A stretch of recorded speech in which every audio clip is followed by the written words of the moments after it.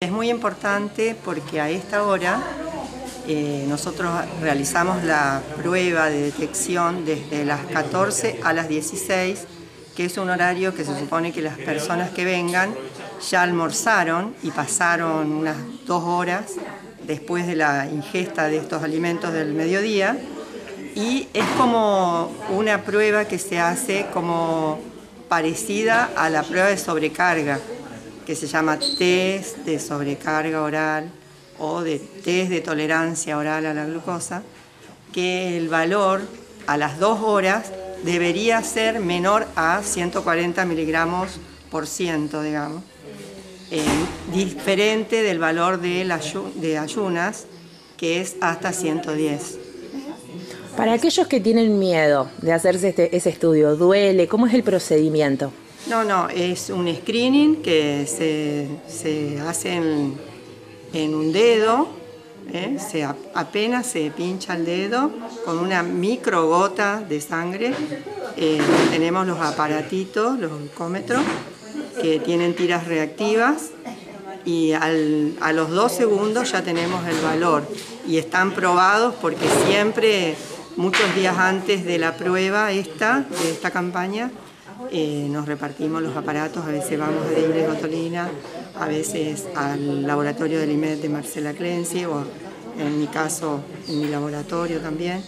Probamos y chequeamos bien todos los aparatos y comparamos y son muy eficientes en cuanto a los valores. Y es un valor más, es un dato más que uno tiene para llevarle al médico, porque a veces en ayunas sí es fácil porque cuando uno va a hacerse los análisis, de rutina, le decimos, vengan en ayuna y tienen de 8, 10, 12 horas de ayuno, ¿verdad?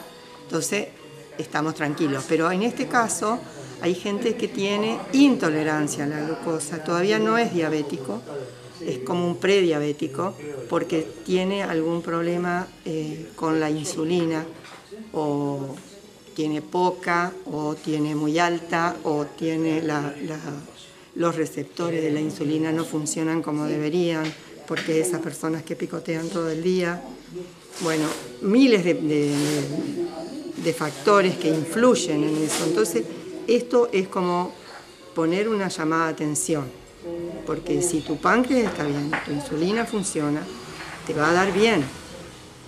Y si no, si te da muy en el borde superior, cerca de los 140 o más, bueno, anda a hacerte un chequeo, anda al médico, él te va a pedir y ahí con más estudios vamos a sacarnos la duda, porque es una enfermedad muy silenciosa y los síntomas son, por ejemplo, una sed intensa, la boca seca, eh, orinan mucho, comen mucho, porque tienen hambre, pero no es que vos te vas a dar cuenta por algo más.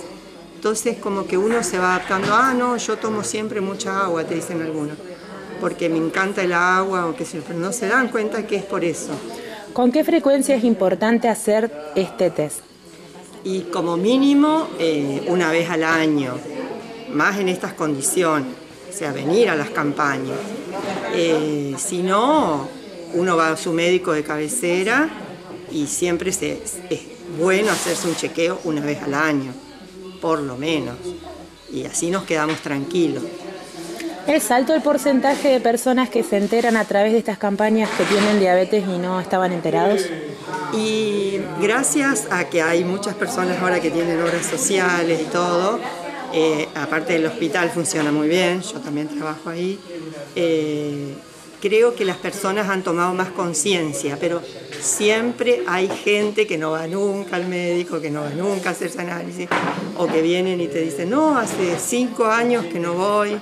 Bueno, más con todo esto de la pandemia, también mucha gente que relegó todos esos estudios, fue como dejándolo para después, viste, que decir, voy el mes que viene, cuando te querés dar cuenta pasó el año, porque pasa eso. Es importante que los niños y los adolescentes se hagan este estudio, sobre todo cuando tienen antecedentes familiares.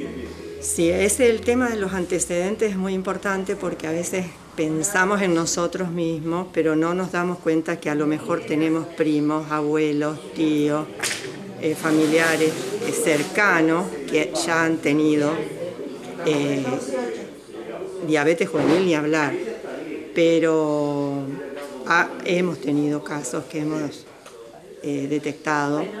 Gracias a Dios muchas personas vienen para tener un dato más.